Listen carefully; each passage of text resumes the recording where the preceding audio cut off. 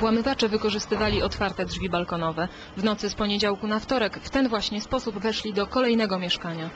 Dziecko nami, dwuletnie w środku i nie wiem, normalnie się człowiek teraz cieszy, że się nie obudził. Bo nie jakby się człowiek obudził, to nie wiadomo, co by wtedy się stało. To był ich ostatni skok. Wczoraj po południu policjanci z Komendy Miejskiej w Gdańsku i jednostka antyterrorystyczna zatrzymali ich na gdańskiej Oruni.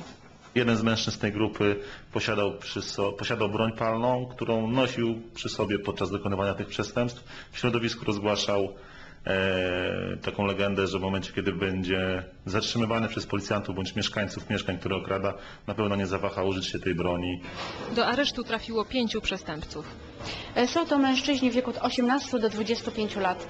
E, Szef tej grupy, nieformalny szef tej grupy jest w wieku 18 lat. Za kratkami znalazła się też matka szefa bandy, która podczas przeszukania poszczuła policjantów psem rasy Amstaff. Dla zapewnienia bezpieczeństwa policjanta celem odparcia bezpiecznego zamachu na jego zdrowie e, drugi funkcjonariusz użył broni służbowej i po prostu zastrzelił psa.